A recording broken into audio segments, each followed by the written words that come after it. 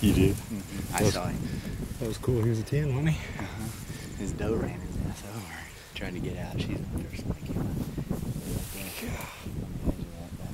I can't believe they wouldn't get out of See, and I wouldn't have been so aggressive if I was hunting Yeah. I would have got on this high spot right here and just sat down. Just got on my knees and waited. I mean, if he was a ding dong, you would have, you wouldn't have pushed him like that. They probably felt surrounded with the cows and everything. That's cool. I like that.